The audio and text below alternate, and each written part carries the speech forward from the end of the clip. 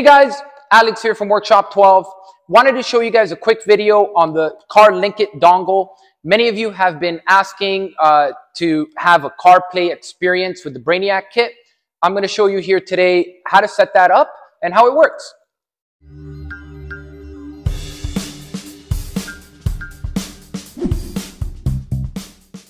So this is the CarLink dongle and when you first get it, you're going to get the instructions and there's going to be a link that's in red, which is right there.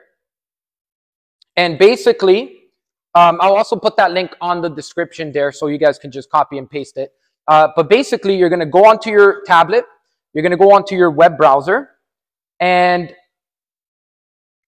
you're going to be typing in that code. So for example, I already copied and pasted here to just make it quick. Um, and you paste, and then it's going to tell you, would you like to download? You're going to click yes. If you've never downloaded an APK app, you're going to have to allow uh, Chrome to give permissions to download from uh, the browser. Um, I'm not going to download it again as I already have it downloaded.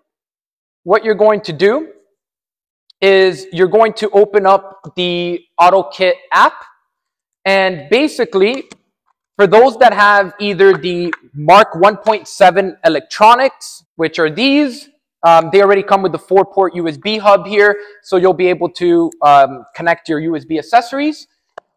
Um, and if you don't have the Mark 1.7 electronics, you can actually use the companion kit. So you're first going to connect the CarPlay dongle onto one of the four ports in the USB uh, hub. You're not going to connect it to the one that has the extension on it. The extension one is strictly to provide charge to your cell phone. So once you plug in the device to the companion kit, you're going to plug in the charger to your tablet and you're going to also make sure that you have um, your iPhone connected to the Bluetooth and Wi-Fi of the CarLinkit device. Once you do that, you're going to plug in the, the charger on the tablet and CarLinkit will be starting to detect your device. And as you can see, we have full CarPlay right on the tablet, which is really cool because an Android tablet just becomes a massive iPad. Uh, we are actually going to start selling the CarLinkit dongle on our website. We do have inventory arriving shortly, so stay tuned on that.